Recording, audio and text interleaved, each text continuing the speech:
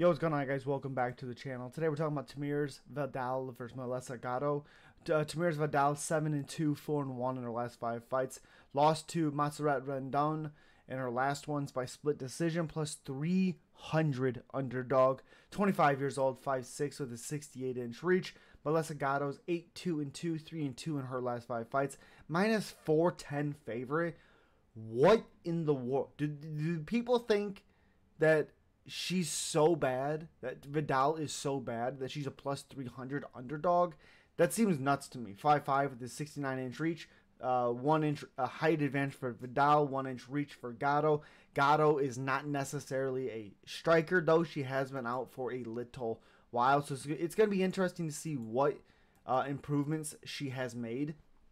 That is something that I am curious to see because, again, if she's made good improvements, we have a good fighter. So supposed to be Hailey Cohen. Cohen, she pulled out of the fight. It is now obviously Melissa Gatto. So I don't think. Let me see. Gatto. I gotta search this now because she was not the original opponent. Melissa Gatto. Okay, so uh, won her first two fights, lost her last two fights.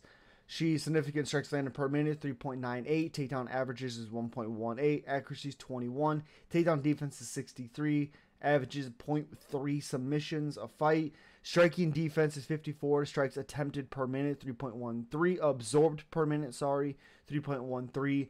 Uh, landed is two, uh, 3.98. Like I said, accuracy is 48%. So again, I, I, actually really like Tamires Vidal in this. I, I, I, like her a lot in this matchup. Her takedown uh, defense is 63%, which I'm not really concerned. Her accuracy is only 21. But again, the one thing about it is she's been out for about a year. You gotta expect a pretty damn good Melissa Gatto. And because Vidal does sit down on her punches, you know, with seven wins, you know, she has three finishes, so she's been decision three times has been submitted one time, which been uh, was against Karol Rosa in the third round uh, five years ago. Did defeat Pascual by flying knee uh, in 2022, but Pascual was never really that good. But again, did beat her with a flying knee. So there's that. Lost a split decision against Rendon, like I said. Montserrat Rendon, who is now six and one.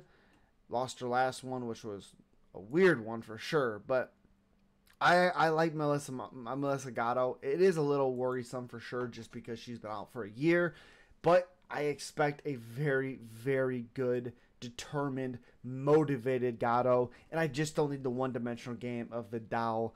Even though it is, she does have big power and all those things. I do think Gatto finds a way to win this matchup, whether it's with volume, whether it's with mixing the takedowns and just being well rounded. I like Melissa Gatto. I think she gets the job done. As always, subscribe, like, comment. See you at the next one. Peace.